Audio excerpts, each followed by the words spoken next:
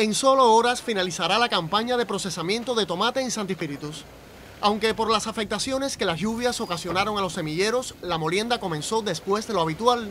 Esta planta, perteneciente a la empresa de conservas de vegetales, produjo lo pactado, al superar las 400 toneladas de pasta de tomate, producto que se destina al llamado balance nacional y es utilizado por otras industrias conserveras del país. Según los directivos de la unidad empresarial espirituana, el nivel de procesamiento en la campaña no llegó a la mitad de la capacidad instalada, pero sí fue superior al del 2020. A pesar de que es una campaña corta, eh, donde se planificaron 2.560 toneladas, hoy estamos arribando a 3.682, finalizando la campaña, un 140 y pico por ciento. Se ha trabajado con unidad y se ha llevado a cabo el cumplimiento de lo estricto sobre la contratación por municipio. A pesar de que hubo roturas en determinados momentos, esta planta no dejó de recibir producciones del campo. Incluso en la etapa pico de la cosecha se procesó tomate de ensalada que cumplía los parámetros exigidos por la industria.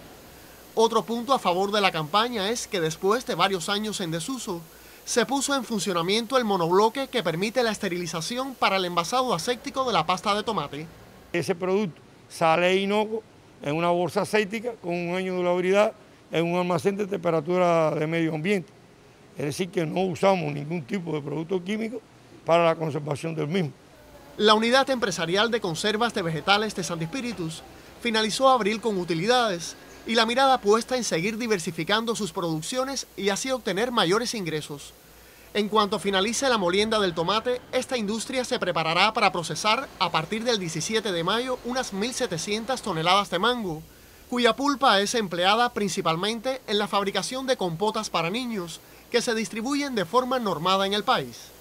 Desde Santi Espíritus, Alain Jiménez, Sistema Informativo de la Televisión Cubana.